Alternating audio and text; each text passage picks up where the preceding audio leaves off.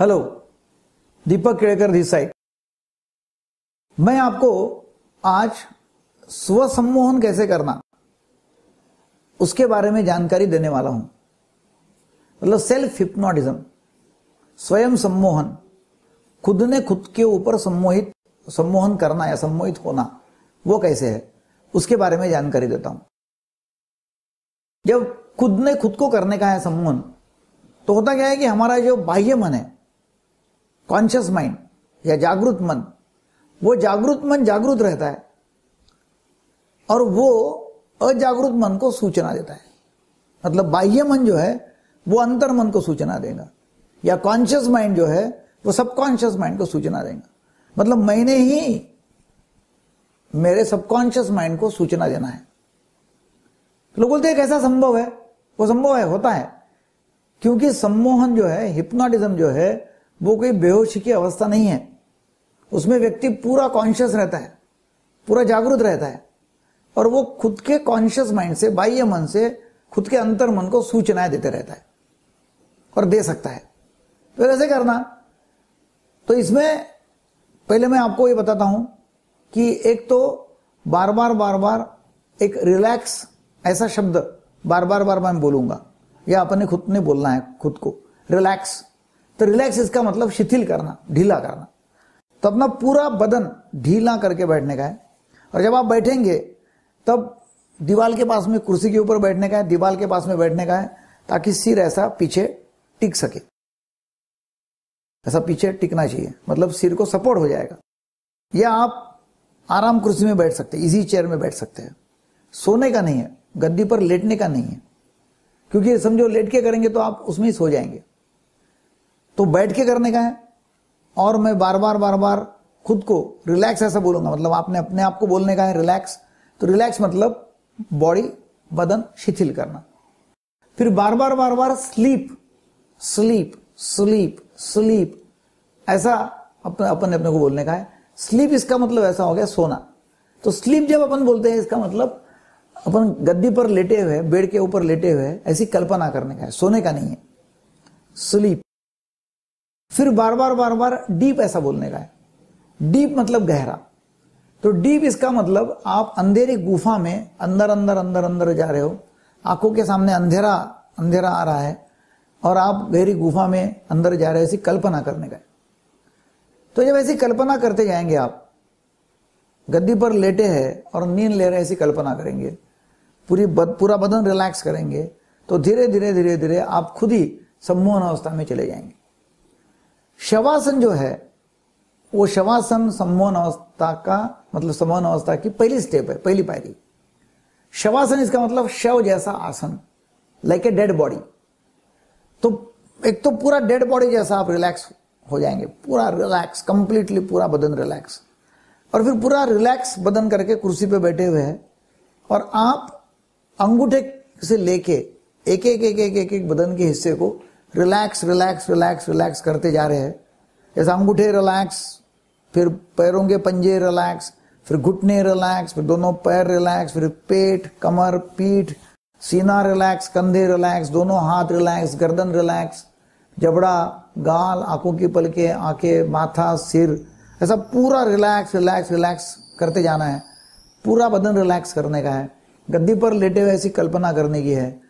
और आँखों के सामने अंधेरा आ रहा है, अंधेरा आ रहा है। और आप गहरी गहरी गुफा में अंदर अंदर जा रहे हैं। ऐसी कल्पना करना है। और ऐसा करते करते करते करते आप सम्मोहन अवस्था में चले जाएँगे। सम्मोहन अवस्था मतलब बेहोशी की अवस्था है नहीं।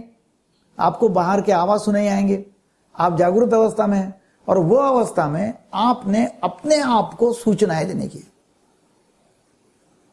सूचना कौन सी देने की है? जो भी आपको चाहिए कि मुझे ये मेरे ज़िंदगी में नहीं हो रहा है। या समझो मुझे आत्मविश्वास नहीं है। तो सूचना आपने देने की है कि मेरा आत्मविश्वास दिन ब दिन बढ़ता जा रहा है और कोई भी समस्या का सामना मैं पूरे आत्मविश्वास के साथ में कर रहा हूँ। ऐसी सूचना अपने आप को देने की है। ये सूचना देके सिर्फ़ होगा नहीं। तो फिर क्या करना है? जब हम ऐसे शब्द अपने आप से बोलते हैं मतलब कॉन्शियस माइंड सबकॉन्शियस माइंड को बोलेगा, उस समय मैं, मेरा आत्मविश्वास बढ़ा हुआ है। पूरा कॉन्फिडेंस मुझे आया हुआ है। और ऐसी कल्पना भी करना है विजुअलाइजेशन और ऐसी कल्पना करके लोगों के साथ में बातचीत कर रहे कॉन्फिडेंटली आत्मविश्वास के साथ में बातचीत कर रहे, लोगों से मिल रहे। मतलब ऐसा एक एक कॉन्फिडेंट आदमी जैसा कर रहा है, वैसा अपने आप को देखना है, अपने आप का कल्पना चित्र सामने लाने का है। और इधर बोलने का है कि मेरा आत्मविश्वास दिन ब दिन बढ़ता जा रहा है। और कोई भी समस्या का सामना मैं आत्मविश्वास के साथ में कर रहा हूँ, मैं लोगों से आत्मविश्वास के साथ में बातचीत कर रहा हूँ, लोगों से मिल रहा हूँ मेरा आत्मविश्वास बढ़ा हुआ है। ऐसी बार बार बार बार सूचना देने का है और बार बार बार बार सूचना जब देंगे यूजली मैं ऐसा बोलता हूँ कि एक सूचना तीन बार देने की है। तीन बार देने के बाद में दस सेकंड रुक जाने का है। फिर वही सूचना फिर और तीन बार देने की है। फिर दस सेकंड रुक जाने का तो ऐसे आप दस दस सेकंड के तीन एटम करेंगे, तीन बार ऐसा तो सूचना सबकॉन्शियस माइंड में डायरेक्टली चले जाएँगी। अब समझो, एक आत्मविश्वास का मैंने बताया। तो वैसे कोई भी चीज़ का हो सकता है, जो भी चीज़ आपको चाहिए, उसकी सूचना आपने देना। तो वो सूचना देने का है। जब आप रिलैक्स हो जाएँगे तब तब रिलैक्स होने के पहले आप गहरी सम्मोहन अवस्था में जाने के लिए आप ये भी कर सकते हैं कि पूरा बदन रिलैक्स किया। फिर अपने आप को आँखें बंद है, पूरा बदन रिलैक्स है। और आप और रिलैक्सेशन अच्छा होने के लिए ये हाथ ऐसे उंगलियाँ एक दूसरे में फंसा के हाथ पैर के ऊपर रख सकते हैं। और पैरों के पंजे जो है वो पैर, पैरों के पंजे आप ऐसे रख सकते हैं। ताकि पैरों के पंजे ऐसे, हाथ ऐसे है और आप एकदम रिलैक्स है रिलैक्स बैठे हुए हैं और खुद को सूचनाएँ दे रहे फिर ये भी आप कर सकते हैं, पूरा बदन रिलैक्स करने के बाद में, कि मैं अभी एक से दस तक गिनती करूँगा और जैसी जैसी गिनती बढ़ती जाएँगी वैसी वैसी मेरी अवस्था और गहरी गहरी होती जाएँगी। ऐसी सूचना अपने आप को देने का है। एक, दो, तीन, चार, पाँच छ सात आठ, नौ और दस। ऐसा धीरे धीरे बोलने का है। इससे भी धीरे, मैंने जब जो बोला उससे भी धीरे बोलने का है। जिससे कि व्यक्ति खुद, आप सम्मोहन अवस्था में और चले जाएँगे, गहरी सम्मोहन अवस्था में चले जाएँगे। और फिर आत्मविश्वास बढ़ाने की सूचना देना, या स्टेज देने की सूचना देना, या पढ़ाई की सूचना, जो भी सूचना अपने आप को देने का है, वो सूचना देने का है। तीन बार सूचना दे के एक बार गिनना, ऐसा तीन बार करने का है, दस दस सेकंड के अंतर से। फिर ऐसी दो अलग अलग सूचनाएँ देने का है। और वो होने के बाद में फिर बोलना है कि अभी मैं खुद को जागरूक कर रहा हूँ। मैं अभी तीन से एक तक गिनती कर रहा हूँ और तीन से एक तक गिनती करके मैं खुद को जागरूक कर रहा हूँ। तो ये आप कर सकते हैं, जागरूक तीन, दो, एक, या और गहरी सम्मोहन अवस्था में जाना है। तो उसके लिए आप क्या कर सकते हैं कि अभी मैं दो मिनट ऐसे ही बैठ रहा हूँ। और दो मिनट में पूरा कल्पना चित्र मेरे सामने लाऊँगा विजुअलाइजेशन कि मुझे कहाँ कहाँ प्रॉब्लम आते हैं। तो वो प्रॉब्लम जो है, वो मैं आसानी से हल कर रहा हूँ। जो भी समस्याएँ हैं, वो समस्याएँ आसानी से हल कर रहा हूँ। ऐसी कल्पना करना है, अपने आप को देखने का है। और वो दो मिनट, तीन मिनट ऐसा चित्र अपने सामने लाने का, अपना खुद का। और उसके बाद में फिर तीन, दो, एक बोल के जागरूक अवस्था में निकल जाना। मतलब बाहर निकल जाना सम्मोहन अवस्था से। ऐसा आप कर सकते हैं। तो ये इसकी प्रैक्टिस यदि आप करते हैं, रोज सवेरे शाम कम से कम दो बार। मैं ऐसा बोलता हूँ कि कोई भी आपको प्रॉब्लम हो, कुछ भी प्रॉब्लम हो आपको, वो प्रॉब्लम सम्मोहन से स्व सम्मोहन से सेल्फ हिप्नोटिज्म से निकल सकता है। सेल्फ हिप्नोटिज्म आप सीख, आपको सीखना पड़ेगा हमारे यहाँ के। या कोई हिप्नोटिस्ट जो है, जो आपको सिखा सकता है, उससे आपको सीखना पड़ेगा। या फिर पहले किसी किसी से करवा के लेना पड़ेगा हिप्नोटिज्म जिससे कि आपको जो भी समस्या है, वो निकल जाएँगी। समस्या है कौन सी?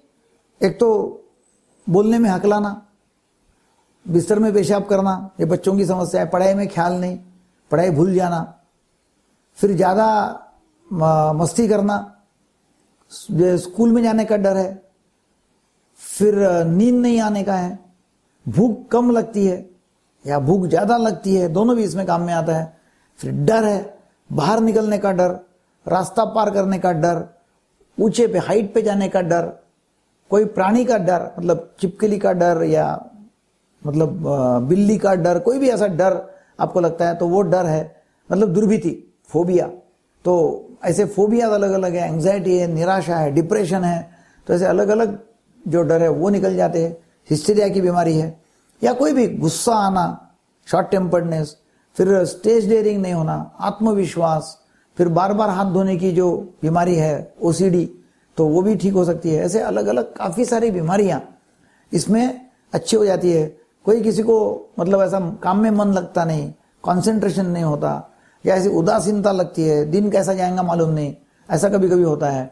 या आलसीपन आ जाता है। मतलब ऐसे काफ़ी सारी बातें जो अपनी ज़िंदगी में, उसमें स्व सम्मोहन हम करते हैं तो उसमें बहुत ज़्यादा फ़ायदा होता है और अपना जीवन अधिकतम आनंदी, खुशहाल हो सकता है। इसके बारे में अधिक जानकारी के लिए आप हमारे वीडियो को सब्सक्राइब कर सकते हैं। सब्सक्राइब करो ताकि आप आने वाली वीडियो जो आने वाले भी वीडियो है, वो आपको मिल सकेंगे। और आप उसको लाइक भी करो शेयर करो लोगों के साथ में।